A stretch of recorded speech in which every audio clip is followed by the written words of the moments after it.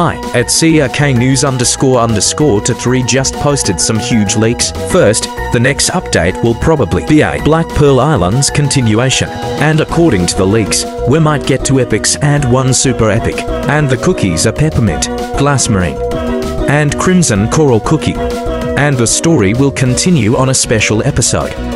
Like the last two that we had. Here's the final boss in a video. Here's the battle backgrounds. And Glass Marine will probably be a mid-update cookie. And Frill Jellyfish will release instead. So, are you excited about all this? Comment down below.